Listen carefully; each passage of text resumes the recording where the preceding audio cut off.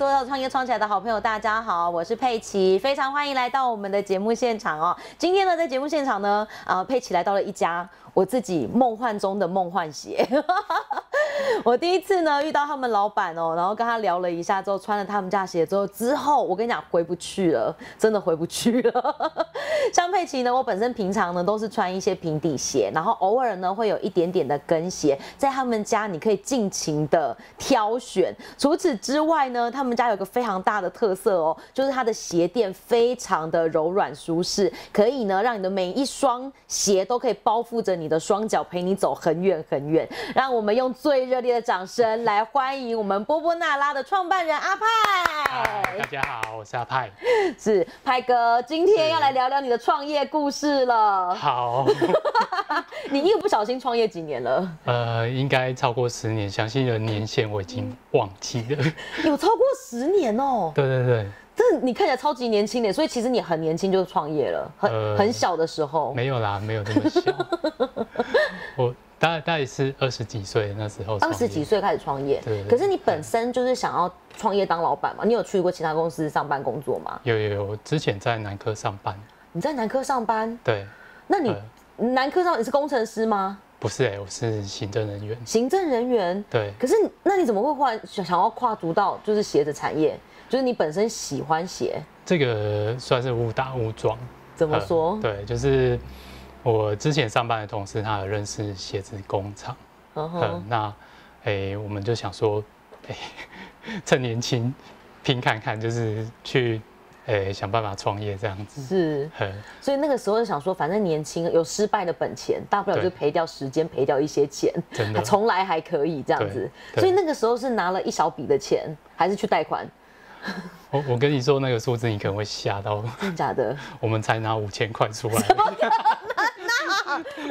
块，真的五千块创业，真的五千块创业，因为我们当初因为工厂是认识的老板，嘿，那其实他也蛮 support 我们，呃，就是，哎，我我不需要订很多的鞋子，他就愿意做，对，他就愿意做，可就是啊，我先订一双一个颜色一双，然后我们去拍照这样子，所以五千块我们花在哪里呢？订鞋子的钱跟灯具。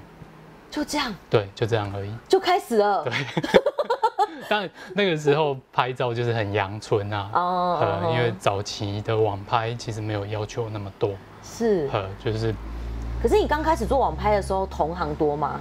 哦，同行其实不多哎，不多。刚开始做的那一两年不多，对，不多。那个时候应该大部分，因为像拍卖，当时的状态应该是蛮多会把自己用不到的二手上去拍。可是你几乎是卖全新的啊，对，基本上是卖全新的，对。所以同行其实不多，同行不多，而且鞋子要卖二手的也有点困难，真的哎。那当时的定价呢？当时的定价其实蛮便宜的，因为我们一开始就锁定是全部台湾制造的商品，对，台湾制造的鞋子。所以你只选台湾工厂？对，我只选台湾工厂。那我刚开始的呃卖价大概是六百到七百块，那蛮便宜的哎，哎，真的很便宜，而且是全真皮的哦。全真皮，对，这到底天哪，这个几乎没什么赚钱吧？嗯，微薄啦，薄利就是薄利，真的是薄利多销。但那个时候还没有依靠这个这件事情，就是成为主业这样子。对，所以想说多一个零用钱也挺好的。对，我们是想说试看看啊，然后也也有想过说会不会失败这样。呵呵呵呵，但五千块创业，真是我目前听到最低的最低的。访问这么多老板，第一次要五千块。我跟你说，现在没有这个环境了哈。真的哎，现在现在我常常在跟很多老板在聊天，都说啊，现在到底要做什么好？其实很多老板都说哦，没有，我就是在那个时机点对的时候进场。好像很多老板真的是有这种心情。但派哥，你应该除了在对的时机点进场之余，你对鞋子的研究应该也是蛮蛮认真的去关关注它吧？我我觉得是从做了鞋子之后，才开始认真的去研究。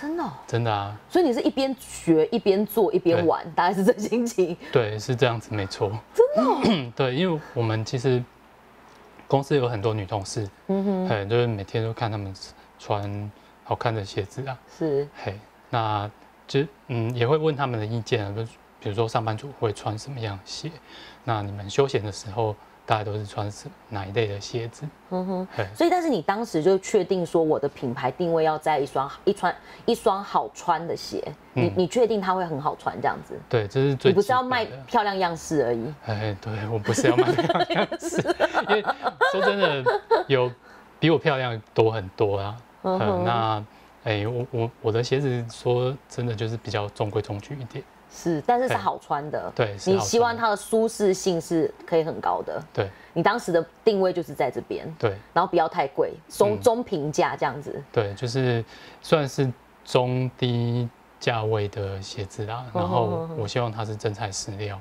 是。呃，因为其实你去一般的百货公司或店面买台湾制的真皮鞋，真的很贵。哦，真的。呃。所以你当时就想说，好，那这个这个东西很好，但是你希望它可以更亲民一点，对，然后可以让大家可以用的更久，有这样的概念在做。对，你还印象当中，你第一双设计出来的鞋是什么样子？第一双就是现在看到的类似这样子的，类似款，已经不是这一双了。对，因为那一双后来已经没有生产，啊，已经停产了。对，已经停产了。但这个这个鞋，这个鞋真的在那个时候应该很流行哎，因为佩奇我本身也有这种鞋好几双。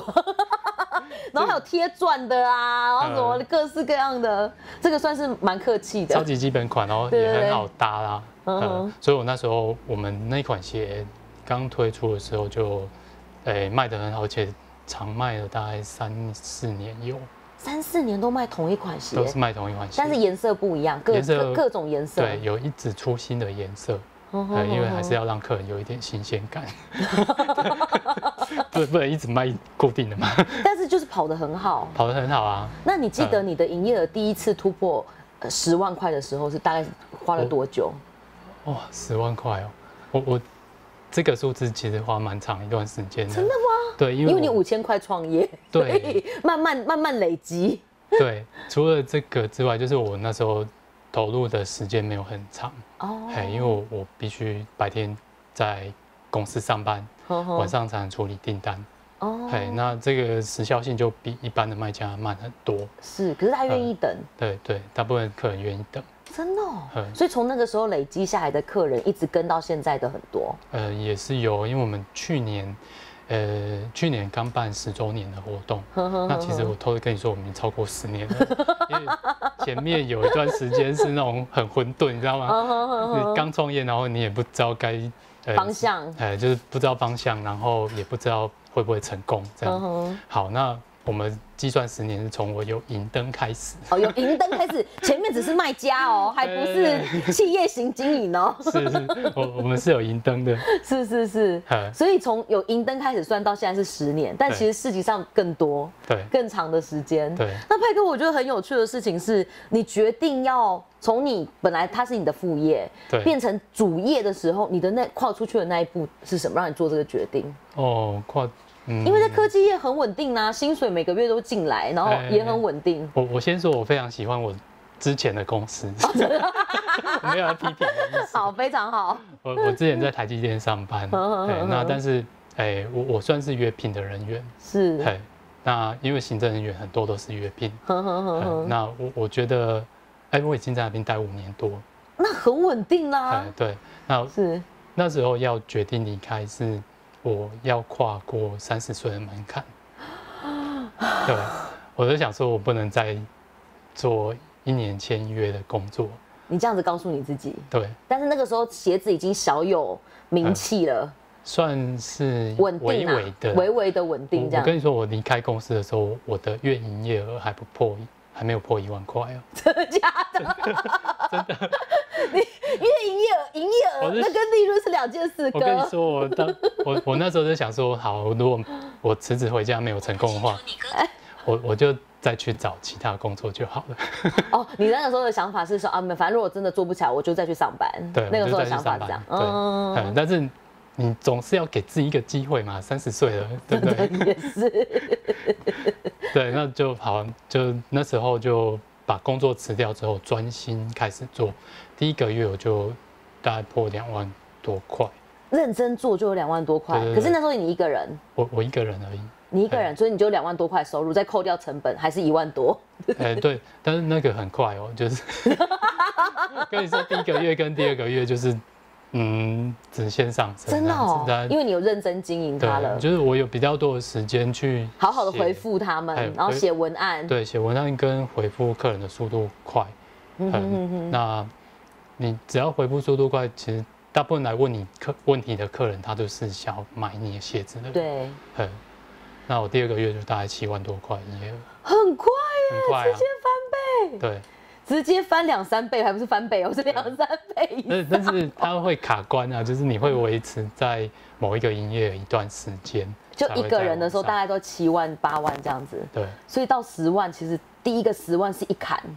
第一个十万是一坎，但是我我先说这是营业额，不是 不是 盈利，对对对对对。第一个十万是一坎，所以那个时候做到十万，应该是想哇不得了了，很开心啊！我就想说，但应该出货出到崩溃吧？也还好，因为以前以前是用预购，就是我可以呃接单，比如说一个礼拜进一个礼拜的单，送给工厂，请他们帮我做，嗯，呃，那他们也会统一一个时间交货给我。那我在同一天把它包完，这样，其他的天数我就是在写文案、整理订单跟拍照，就是一些零零口口的东西。但你第二个月就做了七万块的业绩，爸妈应该觉得不得了了。我爸妈其实那时候蛮担心的呢，真的。对，因为我那时候离职，从台积电离职，全世界人都很担心。我 是自己决定的，我没有跟人家讲。没有商量这件事，没有没有，我不高兴做不要做，没有，认真任性。然后就是开始，反正就开始做了这样子。对，那你刚开始，你因为这样听起来算是蛮顺利的。我觉得蛮顺利的，但是嗯，也是会有遇到一些问题的。比方说，你觉得中间你开始觉得有一点需要在不一样，在突破的第一个点，你还印象是什么问题吗？呃，两个问题。嗯，一个是跟工厂的磨合，哦，因为因为我其实我不是，呃，进入鞋子这个行业很久，是，那我面对沟通的那个师傅是六十五岁的老师傅。我说，但是他技术就不得了哎，他技术很好，但是他也会做到。哦，他觉得你这小朋友啦，你听我嘿啦，安内看没啦嘿。我我反正我我去那边常就是被洗脸，哎，对，常就是被洗脸，反正没关系，就是我不懂就问嘛。哎，然后他他每次都叫我外行的。但这个师傅是你第一个合作的师傅？对，他是师傅兼老板。哦天哪，好有趣哦！但它的产能是大的吗？产能不大，就是小小的这样子。对，但是嗯，小小的它，我我预估啊，它一天大概可以做一百到两百双。那也蛮多的，其实。对，但是因为他们诶，像这种鞋子算是比较容易制作的，嗯嗯，它的工序没有那么多，所以它它一天可以做的量比较多。哦，所以那个时候就以这个为主力，对，以这个为主力，然后就跟他沟通你想要什么颜色，请他去帮你做制作这样子。对，那你跟他沟通到最后，他有一直想说，啊，天哪，林麦给我来啊！我就死缠烂打，为了赚钱。但他那个时候很不想做你生意，是不是？是也不会啦，但是他，呃，因为因为我们都台南的，嗯，因为工厂也都在台南，是，然后我觉得，诶。你知道台南的长辈都会特别的关注、关心、疼惜，真的自己家乡的小孩，真的。虽然嘴巴一直念你说哦你是我行的，然后可能对这个也不懂，对那不懂。有时候哎，我跟他说我想要改怎么样，我想要做这个样式，他不愿意做就不愿意做。真的？对，他就是你想这样做，但他死不要。对。那你跟他合作已经六十五嘞，他现在还有在做吗？我我好久没有跟他联络了，你真不好意思。我觉得很有趣。因为师师傅他自己后来也蛮忙，然后他后来说他想要回乡下种田。哦，因为他那也是六十五了啦，所以其实他退休的时候是七十岁。他七十岁的时候退休。对。然后你就是一直跟他合作到他退休。对。然后才开始想说，好吧，那只好再找其他人。中间他一直叫你去找别人，是不是？有啊，他也一直叫我去找别人，因为。他叫找别人是希望延续这个工作。牌子继续做，对，因为他也知道说不可能一双鞋子一个版型啊，你可以卖一辈子，嗯，你一定要去呃其他工厂多看多比较嘛，然后就是看人家怎么制作鞋子，因为诶制作芭蕾舞鞋的工厂跟制作靴子或是凉鞋工厂，那个技术门槛是完全不一样。真的耶，所以当时就是慢慢在学到到现在不同的款型跟不同的版型，每每双鞋有不同的学问。对对。今天非常开心，在创业创起来的节目现场呢，佩奇为所有的好朋友邀请到我们波波娜拉的创办人阿派哦，来到节目现场跟所有的好朋友做分享。一双好鞋哦，其实可以陪伴你走非常非常多的路。派哥，小艾，我在想要请教你，当刚刚刚刚我们在聊到的时候，你提到其实创业是需要一个环境的。对。有很多的人，像现在网络卖家，甚至是网络串起的女鞋品牌，超级无敌多，真的很多，真的很多，我自己都吓到，怎么有这么多？因为以前可能会有很多批货的卖家，是，对，那后来的这几年的确有蛮多手工鞋卖家出现，是，而且都是标榜台湾制的，没错，所以你你面对这么多的。新起的卖家，因为他们可能真的很多是不到十年的卖家，嗯，而且我小呃佩奇，我相信就是能够十年还可以很稳定的在成长的这个企业体质要非常的健全，就是你的粉丝要很铁啦，我我觉得没有被别人吸走哎，你你在制作一件商品，真的要有一点自己的坚持啊，是，对，呃，就是哦，比如说我坚持是在台湾这边制作，呃，我坚持我要用的皮革的品质。呃，等级啊，等级是哪一种的？对，那当然就是你自己对鞋子的了解，你不可能还像入行的时候那个样子。是，可是如果现在有一个新的人，然后就是新的，可能刚可能是十呃呃十年前的你，然后就一个一个男生来跟你问说：“派哥，我想要进入鞋子这一行，你可以教我吗？”你会建议他真的去做这件事吗？我其实蛮鼓励的，因为其实对啊，他这因为我们这个产业。制鞋业其实蛮不容易的，它有很很有很多，这中间十年有很多工厂都收掉。而且你们像你们这样，我们现在在这个空间，你会看到非常多的鞋，所以意味着它不能只有一双，它可能要很多个样式，然后很多个尺寸。嗯，所以它不是一个，就是像五千块，我觉得这真是这真是太幸运了。现在真的很难啊！我觉得早期早期我也不需要放这么多的鞋子让大家选。对，那以前我们做预购的时候是可以做零库存，呃，就是接单再制作，再制作就好。那相对就是单价很便宜，因为我没有存货的成本压力。是。那每呃每一个时代的环境都不一样，现在的客人就是要求快速，我下单我要马上收到。真的。那我就是。你可以看到我们这里面满满的现货，就是要马上他订了，我就可以寄给你。对，其实我我们的客人他对我们的印象，还有就是我们出货很快，很快，哦，那真的很好。这这个也是随着时间时代在变化了。我们刚开始也是有受到一些挫折，就是大家听到预购等十几天哦，好久哦，就跑掉，就跑掉了，就买别人的了。嗯。哦，好。对，今天的最后一个问题，我要请派哥跟我们介绍一下他们今年最新联名合作，非常可爱的史努比的鞋款，可不可以简单的帮我们介绍一下？好，好。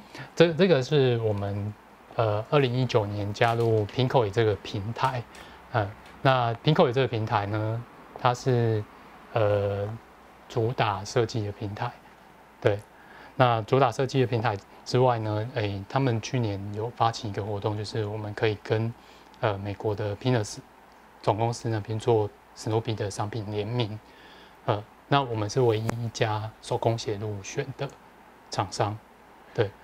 所以现在就是有几款在我们线上可以看得到的。目前有两款，那它各出了两个颜色，所以总共。可以看到四双，四双不一样的，就是这两个鞋型，然后有不同的两个颜色。对，所以如果大家喜欢，就是如果你第一次入手波波娜拉。佩奇跟你说，你真的不会失望。我真的是一穿就变成他的铁粉哎，就是 我现在到哪里拜访各个各位老板的时候，我都穿着他们家鞋。我现在脚上的也是。谢谢。好的，今天呢非常谢谢派哥接受我们的访问。那最后请给我们一个祝福，就是呃跟我们分享一下你创业最大的座右铭，你会提醒你自己什么？没。这这个没有先蕊好，没关系，没有也我们就说没有。